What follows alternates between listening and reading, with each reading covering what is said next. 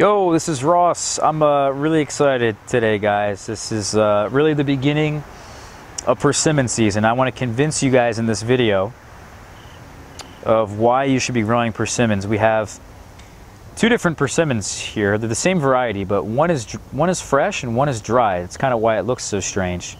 Um, this is, on all honesty, my second favorite fruit and also my second favorite dried fruit. I really like them dried, second to dates. I think uh, a really perfectly moist medjool date is very hard to beat. But persimmons, they dry incredibly well and they taste so good. And you can have them almost all winter if you dry them. But they're also my favorite fall fruit because I would consider figs not really a fall fruit, at least for me because a lot of my figs uh, are ripening. They've been ripening. In fact, they're done. Uh, it's early October here, and they're pretty much over. Whereas the persimmons now, I would consider this the beginning of our fall weather. The persimmons are just now starting. And I know a lot of you guys out there who watch my videos love persimmons. Um, I want to show you guys a lot of the trees. I want to show you guys a little bit of an update because we we kind of neglect the persimmon uh, there's not really a whole lot that goes on, a lot of technique that goes on. I want to talk about some of the trees and kind of what we've been doing and some of the techniques I'm going to be using, particularly pruning techniques. We're going to show you guys a, a pruning video sometime down the road in the winter. However, I also want to show you guys the fruits and talk about the fruits and different types. And I think the best piece of information the most important information about persimmons is that there's two different types. You can break them up into American persimmons, which is native to the Americas, and also the Asian persimmon. Um, and all persimmons are actually related to another subgroup of tropical fruits, believe it or not, like the black pudding fruit or the black sapote. And they're related to another fruit that I'm kind of blanking on the name of. Uh, but they, oh, they're also related, I think, to pears in some way along the line. And they kind of have a pear flavor to them. This, what you're looking at here, is my American persimmon tree. So this is one that's native here. It's called uh, Prok. And it seems to be a good producer. We even have it in an area here this year with poor soil. I find that this is a great way to grow persimmons and a lot of fruit. You don't necessarily want them in great soil. This is, you know, we've even got some weeds down in here. We have some roots that are showing. It's mostly clay, heavy soil. Um, when you feed your persimmons too much and you give them fertilizer or you build up the soil too much, I find they just love to grow and grow and uh, that's all they'll do. They won't really fruit. And even this guy, this is its first year, technically, in the ground, even though this tree is probably three or four years old. It's now putting out about, let's say, I don't know, 12 to 15 fruits. I've already harvested somewhere around five of them off of here. And something I'm noticing with this particular variety is that the, the fruits are falling off. There's a calyx here, I believe this is what it's called, at the top of the fruit where this attaches to the to the branch. And this is very difficult to remove. It's very difficult to remove this black piece here. But the fruit will fall off from the calyx because it's so soft. And that's one thing the persimmon has to do. At least there's a subgroup of persimmons, right? So we have the Americans, we have Asian persimmons, we'll show you guys in a minute. But there's a subgroup of astringent persimmons and non-astringent persimmons. And the Astringent persimmons are so astringent, like the American persimmons, that's mostly what the Americans are. Uh, they're trying to breed Asian persimmons and American persimmons together to hopefully lose that astringency. However, they're so astringent, like a green banana, right? You know when you take a bite of a green banana and uh, it gives you a dry mouth feel? Multiply that by maybe four and coat that whole feeling in your mouth. And um, that's what you get when you eat a persimmon at the wrong time. And that's why persimmons have such a bad rap, and that's why we don't really appreciate them that much in the United States. They're my second favorite fruit behind figs when, when grown fresh.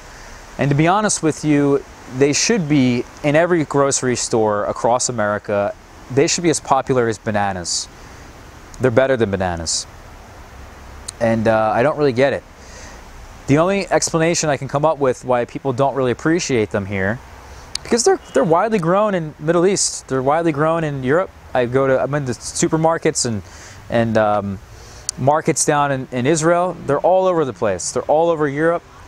Why is it that they're not really that popular here in the U.S.? We just are not educated, and that's where I come in. So you guys tell your friends about this video about this amazing fruit that we're just missing out on. Um, it just is not, when you eat it at the wrong time, it is very astringent. And the, the consumer doesn't know about that. They don't know about their food. It's a shame here in the United States. Food education is very limited. No one really knows where their food comes from. And this one in particular is horrible if you eat it at the wrong time. So unless you guys are really educated and know to eat these persimmons not when they're green and not even when they're orange, but when they're bright orange and they're soft. They have to be softer than a tomato. Uh, the one that I'm going to show you guys over there on the table is only as soft as a tomato, but they should be softer than a tomato. Okay? And if you do that, you wait long enough, and that's kind of the other issue with them is that you're not really going to find a, a, a, fruit at the store that's softer than a tomato. It's not going to sell. But there is non-astringent persimmons, which you can eat like a crisp apple, and they're hard on the inside and outside. And uh, those for sure should be grown in the store, and you won't have any of that astringency, and you won't need any education. Um, here you guys are looking at a different variety that I'm growing. It's called Guang Yang. I had this, this is a pretty young tree. They get established though very quickly. I find after three years, they'll be giant trees. We'll show you guys my really large tree. In a minute, here's some seedlings. These are young trees that we tried grafting onto that didn't succeed. And we're planting these seedlings here to graft onto them a variety called Saijo. And here's actually a young seedling that I did success, successfully graft Saijo onto. I have them wrapped with this tree tube because uh, we have some voles that are kind of coming in around my pear trees over here. What's nice about the persimmon though compared to the pear is that they almost have no issues. The pear has many fire blight issues. I think the persimmon can get fire blight, but it's very difficult. Um, also, the fruits are almost unblemished. Nothing bothers the fruits. No insects bother the trees, the fruits. If you are getting some pests, maybe you can get some borers on your persimmon tree itself. But overall, I mean, the tree is one of the oldest fruits, you know, that exists. It's been grown for a long time, cultivated for a long time. And um, it is just well adapted here. It just grows like a champ. And you can see this big beauty here. This is my now four-year-old persimmon tree. And we're approaching 20 feet. Um, I need to really be careful with my pruning techniques this year. I want to mention to you guys a couple things. When you have a young persimmon tree, even four years old, they're sort of reluctant to fruit. And you can see around this tree, as beautiful it is and as big as it is, there really isn't that many Rosseyanka persimmons on here. And it's very common for these trees to drop a lot of their fruit at a young age, especially I find when they grow very vigorously. And I've been adding mulch underneath this tree for three years now. And that mulch has broken down over time, and you can even see some comfrey that's growing under here. This comfrey is due to the fact that I've been putting much, many comfrey underneath this tree. And over time, it has fed this tree and it's created wonderful soil here. I have incredible topsoil in this location. And I think that is a detriment, believe it or not. And I think I'm gonna have to wait even longer for this tree to fruit, heavily, I should say, because it just likes to grow and grow and not fruit.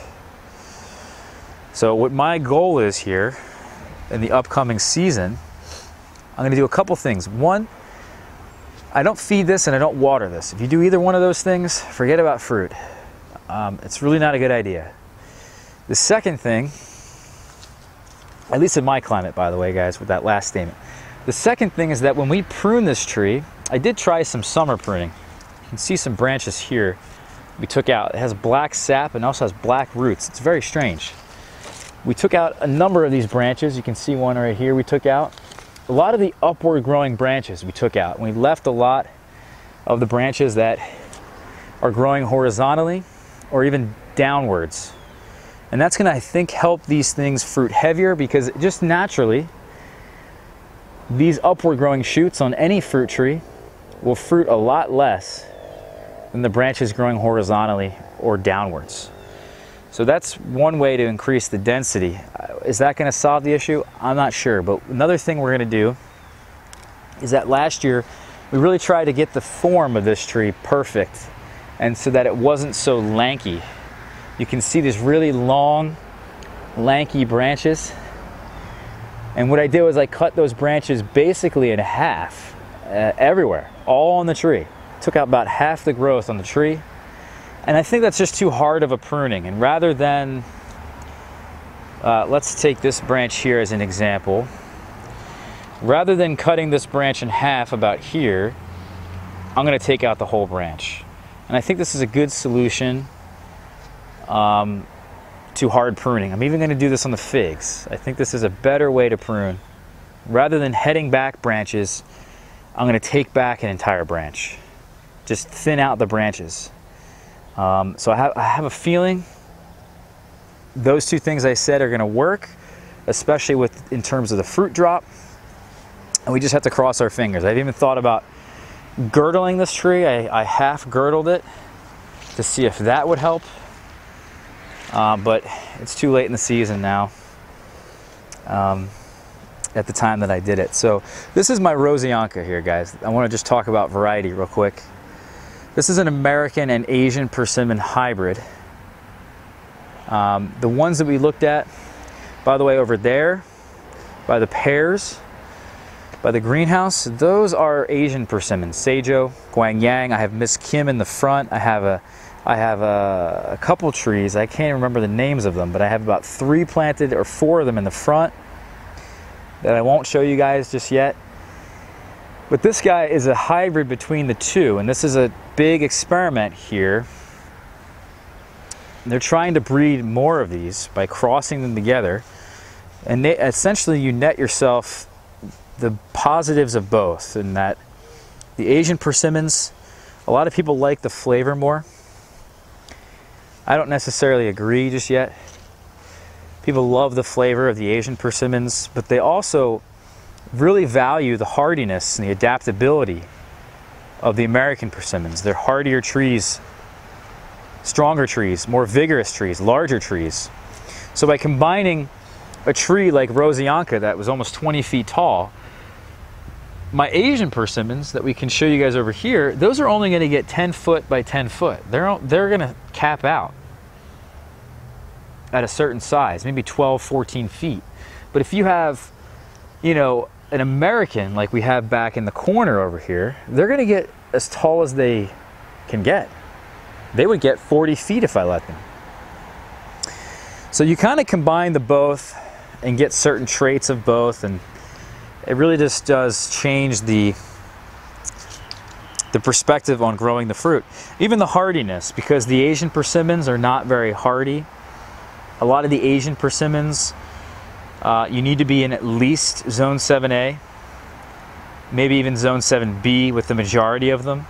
There are some Asian persimmons here that I'm growing, like Saijo, Guangyang, Miss Kim, Tam Kam. Those will survive zone 7A, but if you're in zone 6, you're kind of pushing it.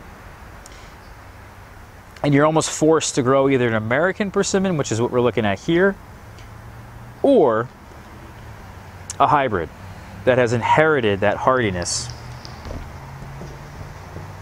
So I'm gonna put you guys down now. We're gonna show you guys the fruit. I hope everybody's been enjoying this talk so far. It's really a wonderful fruit.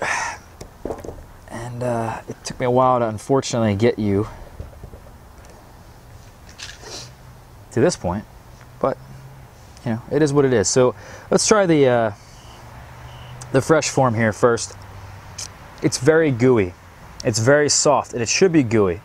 Softer than a tomato. You don't have to even chew it. It's got a great persimmon flavor, which you could describe as uh, figgy or date-like or raisin-like. It has a dried fruit flavor, which is uh, the base persimmon flavor, combined with maybe some pear. Come this way, maybe I can get out of the sun. That's not happening. You know, it's more like a pear. And uh, it has spices in it. There's weird spice flavors in here. Some people have said rum raisin. Um, I've heard other people describe these as, uh, well, I would say they're definitely like a gooey, sugary, sweet pear. Um, maybe that's a good description, but it's also incredible in that some of these taste like marshmallows.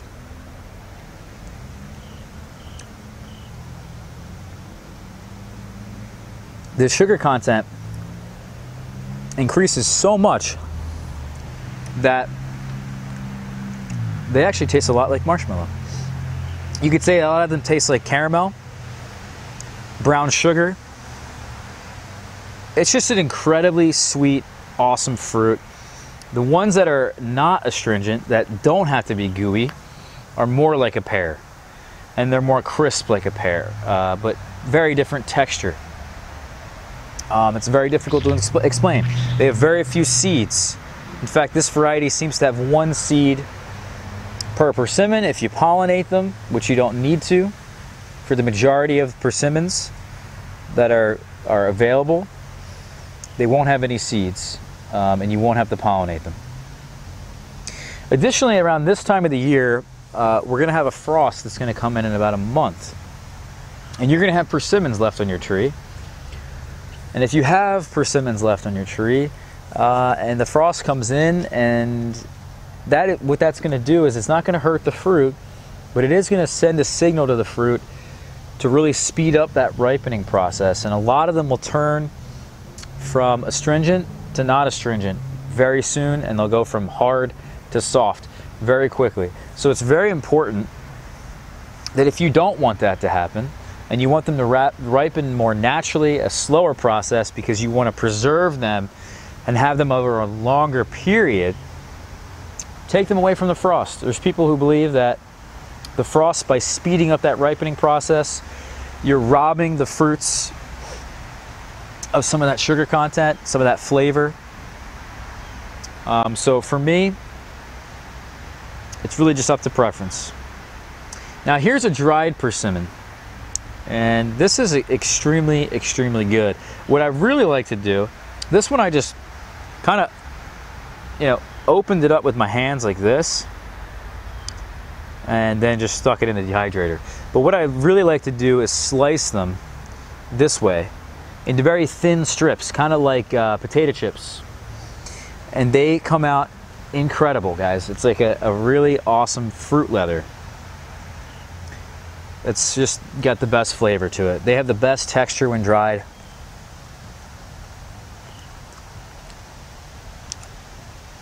It's kind of like eating a potato vodka. It's like eating a potato at this point.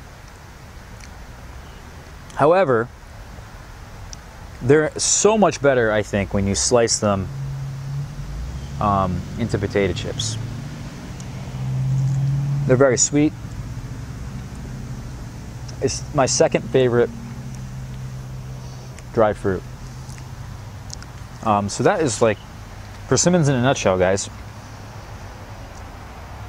If I had land I would have a persimmon orchard.